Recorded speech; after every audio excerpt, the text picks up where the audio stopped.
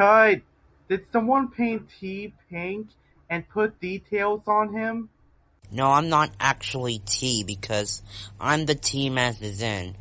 So anyways, I'm just T's replacement because T's go to a movie theaters called Sonic the Hedgehog the movie. But sadly, I don't have any footage. Sorry about that.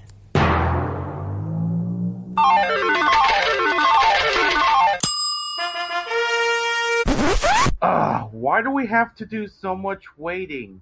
After that, we'll go to